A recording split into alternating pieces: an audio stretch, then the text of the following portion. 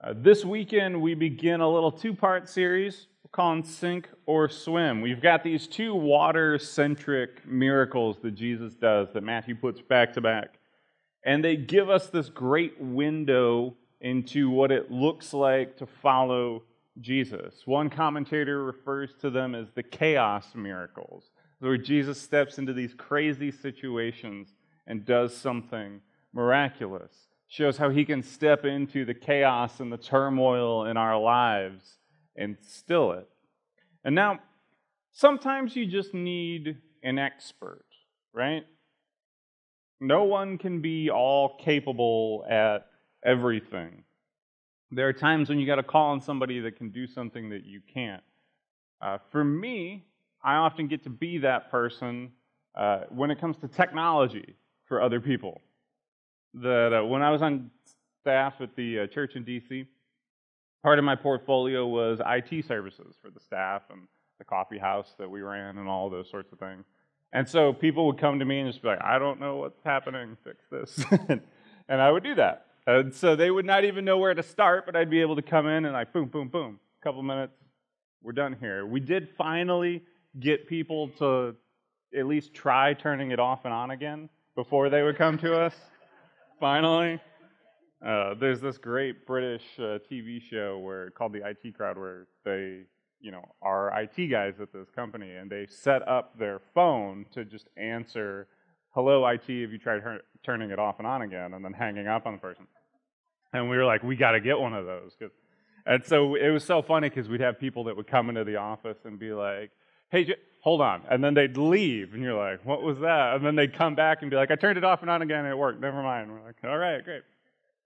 Uh, now, on the other side of things, if something goes wrong with, say, like the electrical in our house, I'm completely helpless there. Like, I have no idea what to do with any of that. I have no experience with it, can't really help myself there at all.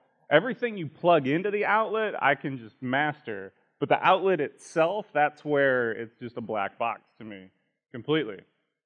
See, sometimes you need someone who can do what you cannot.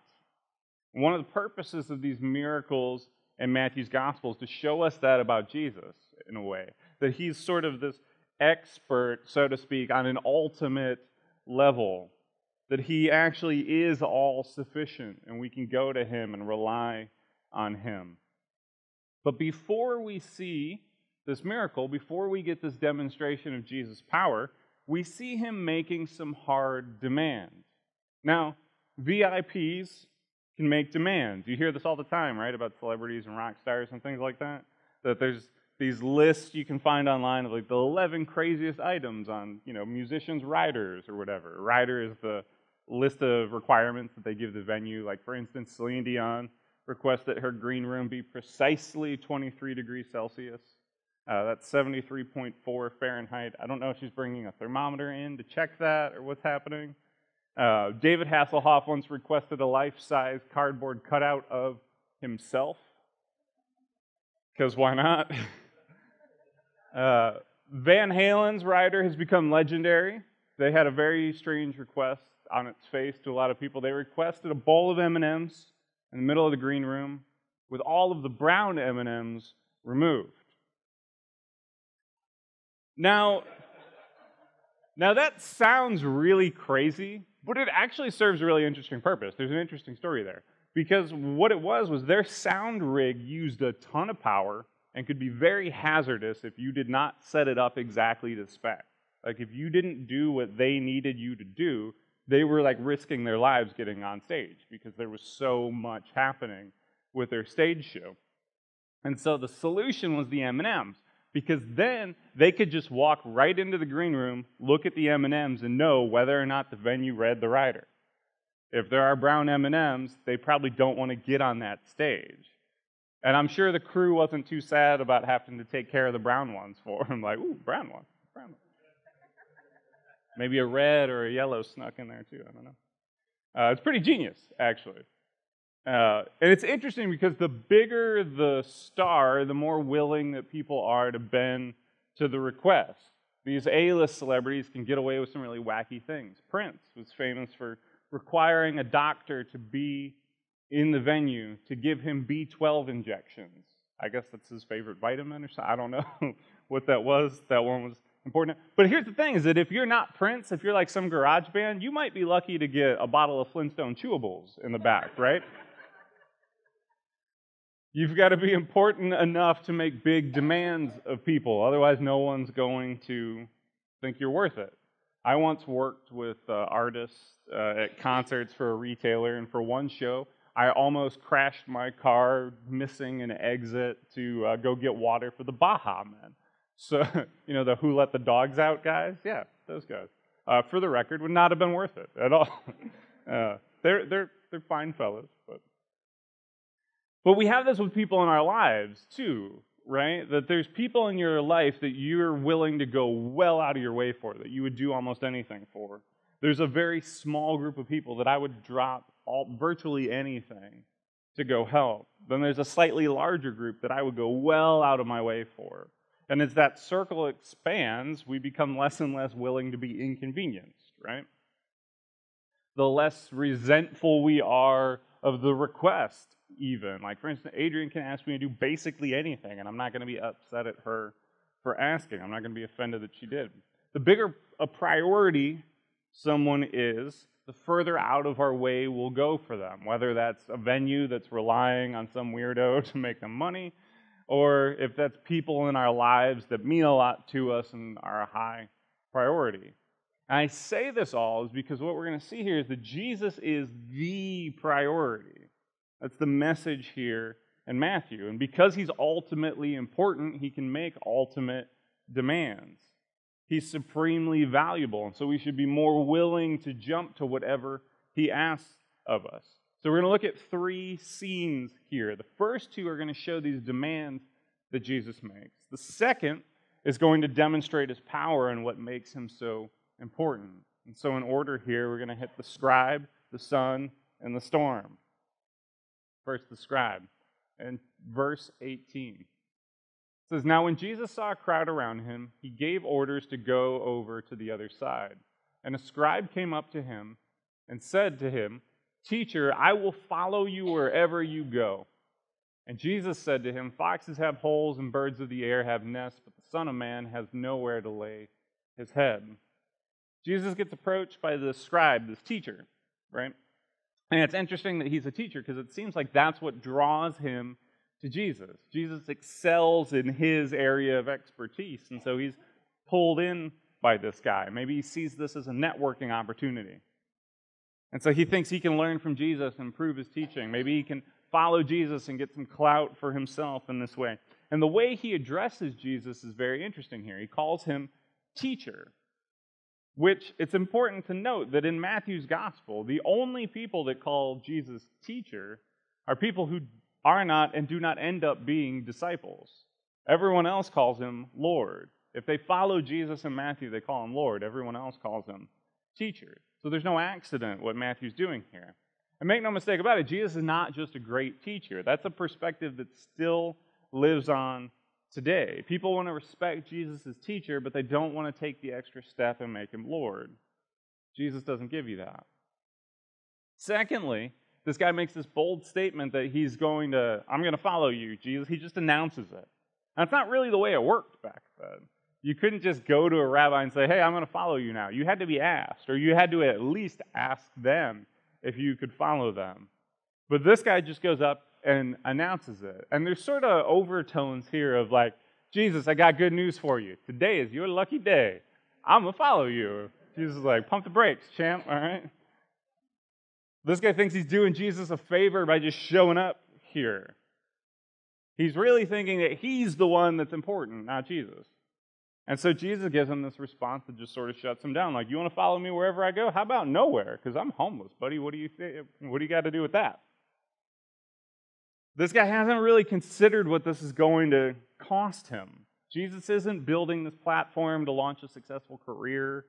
There's no financial gain here. Jesus like, I have less than the animals have. Are you willing to follow me there? The discipleship has a cost. It's going to cost you to follow Jesus. I think our culture wants to be puffed up and pampered, and Jesus doesn't really do that. He comforts us in our affliction, but He doesn't keep us in a safe little bubble, right? It may cost you things to follow Jesus. It may cost you relationships. It may cost your career. It may cost your comfort. Following Jesus may cost you. Jesus points out here, like, I, have got nothing. I don't even have a home. There's a reason, like 9,000, why that prosperity gospel stuff is just complete hogwash, right? And so this is the point here, is that there is no reward without trial. There are no crowns without crosses. This guy wanted the benefits of following Jesus, but he didn't want to pay the price. He hadn't considered the cost. And so Jesus calls him to consider the cost. That's the scribe. The next two verses, we meet the son.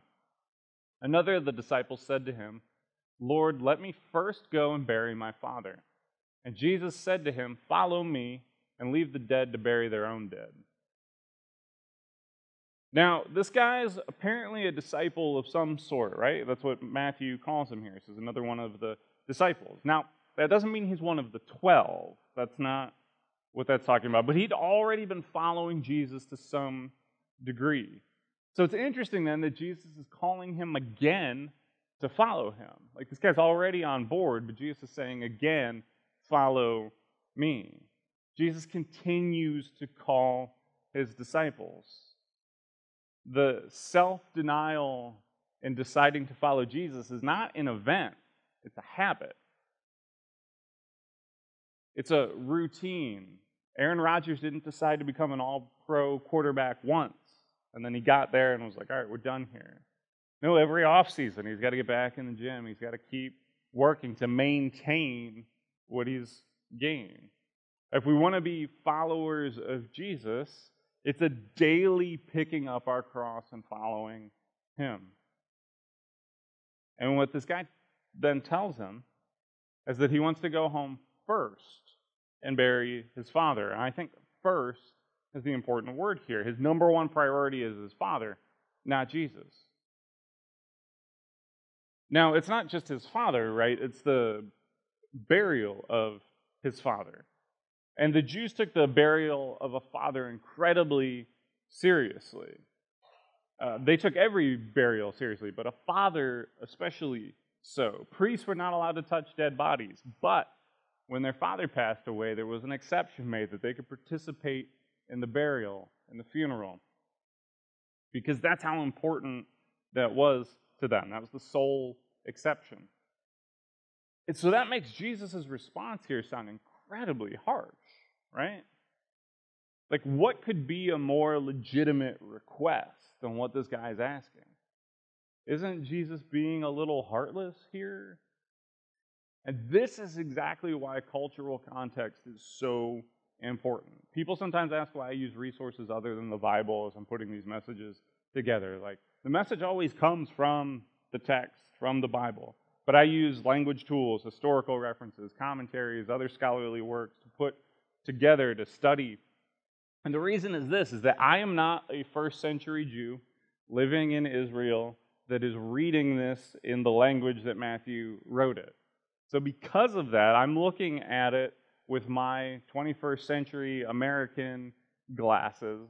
I'm going to miss some things if I don't know about what things were like back then. This is why a great Bible dictionary is something I recommend everybody get. If you're looking to study the Bible, just you start with just a Bible dictionary, and it's an awesome place to begin a library to help you study further. And so this is what we're missing is the burials in that day they took place on the day of the death there's a couple reasons for this for one they felt it dishonored the body to leave them out any longer than that for another the jews didn't practice any sort of embalming mostly because the egyptians invented embalming and they just rejected everything the, the egyptians did just out of spite but what this means is that you've got these bodies that are not embalmed, that are in this hot, arid climate. They would decompose quick. Remember when Jesus goes and raises Lazarus from the dead? And he tells him to roll back the stone? Martha stops him. It's like, he's been in there four days. He's going to be right. Because that's, the, that's what happens in this climate to dead bodies that you do not embalm. So even hang corpses are buried before nightfall. You're a criminal, you get executed. They still are going to make sure that you get buried before night comes. They still respect the body, even in this instance, and they didn't want it to decompose too much. You see this with Jesus, right? He's buried the same night that he dies. And so that sheds some light on what this guy is asking Jesus, then, doesn't it? Because look, his father's not dead. If his father was dead, he's not having this conversation with Jesus. He's busy doing funeral stuff. And so the fact that he's here talking to Jesus at all shows that his dad's at least still kicking. So if his dad's alive, what is this guy waiting for? Maybe he's worried his father's not going to approve if he follows Jesus. Maybe he's worried, well, what if he dies soon and I'm not here for it? What he's doing is he's putting off following Jesus until someday. Someday when this thing happens, then I'm going to follow you. But until then, I'm, I'm going to do this other thing. And so Jesus' response makes a whole lot more sense now. This is why he pushes back at this guy. He tells him, let the dead bury their own dead. He's talking about the spiritually dead burying the physically dead. Jesus' view of the world apart from him. It's the walking dead out there. Don't worry about that. You follow me now. Jesus doesn't want anything taking first place over him. so sometimes he asks incredibly different things. Here he says, choose me over family. His claims are absolute and they're immediate. He wants everything and he wants it now. And so I guess the question then for us is what someday are you waiting for? Like, oh, I'm going to get my life together and then I'll give myself to Jesus fully. After this or that happens, then I'll really get serious about it. Well, after we get married, then we'll get serious about getting to church. Like, what are you waiting for? Jesus, like, no, do this first. Do this now son, the scribe, and then the storm. We're going to see here a story where Jesus, this is why he's able to make the demands he makes. Verse 23. And when he got into the boat, so he's already established, like, hey, we're going to go to the other side. These two encounters happened. Then they get in the boat. The disciples followed him. And behold, there arose a great storm on the sea, so that the boat was being swamped by the waves, but he was asleep. And they went and woke him, saying, Save us, Lord, we are perishing. And he said to them, Why are you afraid, O you of little faith? Then he rose and rebuked the winds and the sea, and there was a great calm. And the men marveled, saying, What sort of man is this that even winds and seas obey him? Now, chiefly, this is a story about who Jesus is more than what he can do for us. And we learn some interesting things about him here. For one, we find him sleeping. Even though the storm happens, he's at rest because he's tired. Like that, in and of itself, is just noteworthy. Because all throughout the Old Testament, before Jesus shows up, God's never tired, he's never exhausted. Here, man, Jesus is out. He's worn out from a long day of doing ministry. He's so tired, he's able to sleep through this storm, right? And so, what we get here is this beautiful picture of his full humanity and divinity working at the same time. He's so exhausted he needs to sleep, but at the same time, he gets up and performs this miracle. And now, what's interesting is Jesus could have prevented this storm, but sometimes he allows storms to come. And when those storms come, he uses them for his good purpose. The storm that hits the boat is impressive. The word Matthew uses is seismos, which you may catch as being related to earthquakes, right? We call earthquakes seismic activity. A seismologist, someone who studies earthquakes, where this word comes from. This is quite the storm. Yet great next to that word on the sea. This is like, this is crazy. Thankfully, I've never been on the water for anything remotely like this. The boat is swamped with waves. It's this picture Matthew's painting. The boat's completely covered by the waves. You don't see the boat anymore. You just see the waves. How does Jesus sleep through this? The question I want to know. Like even in my best, I guess worst days, like as a teenager, where you could like march a marching band through my bedroom and I was still gonna stay out. Like I still don't think I would have slept through this, but Jesus does. He's out. The disciples are in trouble here. Story shows us that disciples need saving too sometimes. It's interesting that the words they use, save and perish, Matthew sort of uses those as loaded words throughout the entirety of his Gospels. It's almost like he's doing a little double entendre here. And this incredible storm's rocking the boat. And they get out three words to Jesus Lord, save, we perish. Which is the last one, that's one word there. And it's present tense. Like they're fully believing they're in the process of dying at that moment. It's this cry of anguish. Now, what might be sort of a chin scratcher here is why does this get recorded in the Gospels at all? Like, if I'm the disciples, right? Maybe the story where Jesus calls us all little faith, maybe we leave that one out. like, who's going to notice, right? They're not going to know. We're the ones that have the stories. Like, let's just, let's, no, let's, we got stories where we did things right, didn't we? Like, you know. You'd think maybe they'd be a little bit worried about their reputation, but they don't see it that way at all. They never have trouble painting themselves in a negative light. Because it's always in the process of painting Jesus in a positive light. It's always about Him, it's never about them. There's a lesson there. And there's so much to notice in Jesus' response to them here. He calls them little faith. It's one word, it's this like pejorative that it seems like he's invented. It's describing this faith that's in crisis. Now, it's not disqualifying characteristic. Jesus doesn't dismiss them because of this, but it's clear he's not very happy about it. This doesn't please him. I don't think Jesus is criticizing fear itself here, but excessive fear. He thinks they're overreacting here. I mean, sure, they hit a storm, but they forgot who's in the boat. And so, what's the worst that can happen? And how much more for us, knowing that Jesus has secured our eternity? This is why Paul can say things like, well, to live as Christ, to die as gain. And it's not all harsh here. Because you think about it, we see here that even when our faith is weak or small, Jesus hears our cries. That, I don't know about you, is incredibly encouraging to me. I have more than a few of these moments myself, right? And they're never enough to drive him away from us. So Jesus hears their cries, he stands and he rebukes the waves. It's an interesting choice of words. Like he's mad at them and shouts them down. Like the waves are misbehaving here. As if there's like this supernatural element to the storm.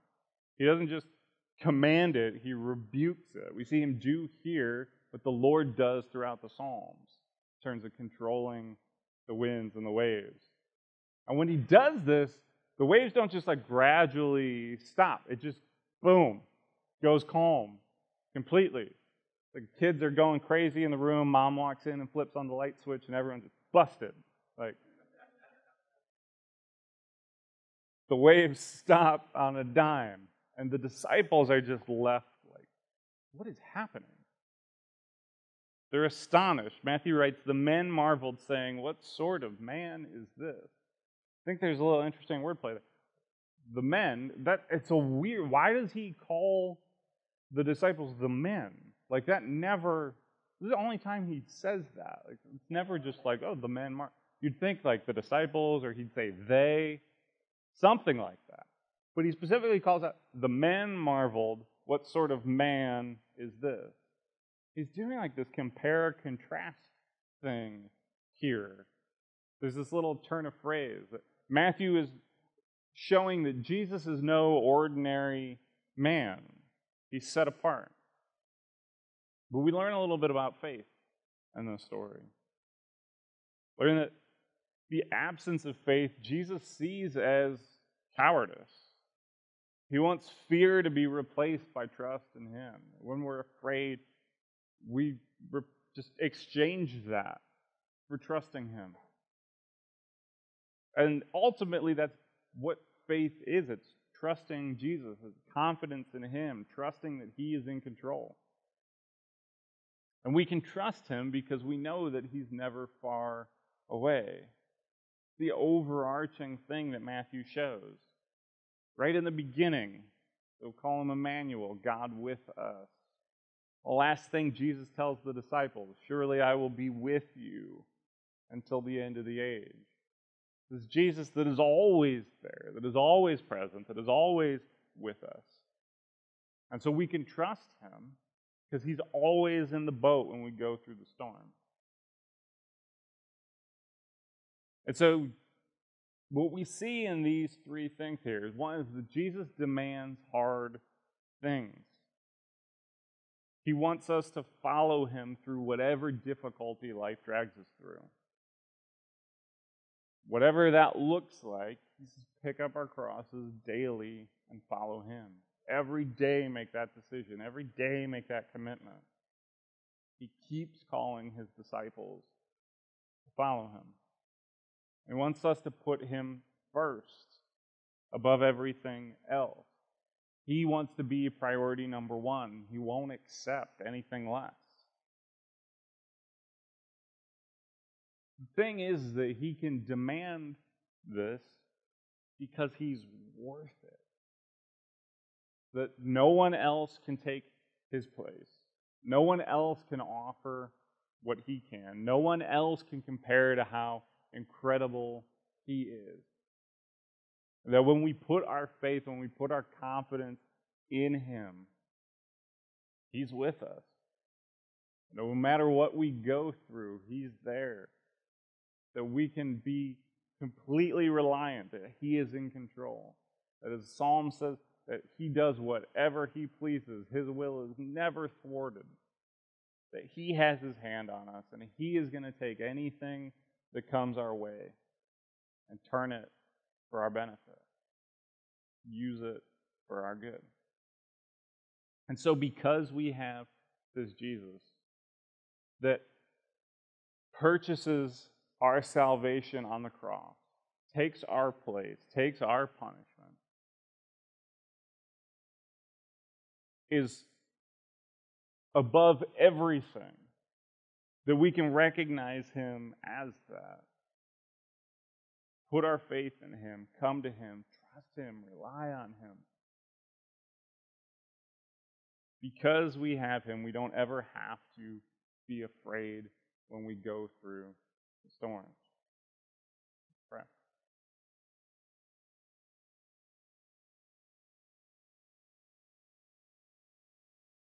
Lord, we thank you that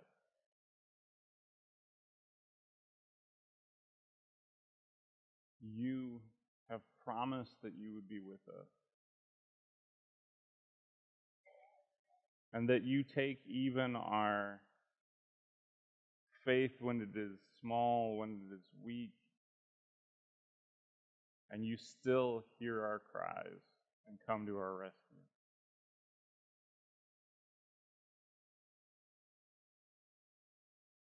Lord, I pray that you would help us to trust you, rely on you. That when things get stormy, that we wouldn't look at the size of the waves, but we would look at the size of our God.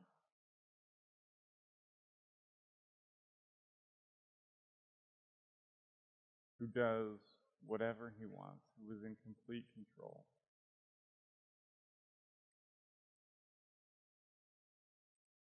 And will take whatever comes our way and use it for our benefit. We thank you in Jesus' name. Amen.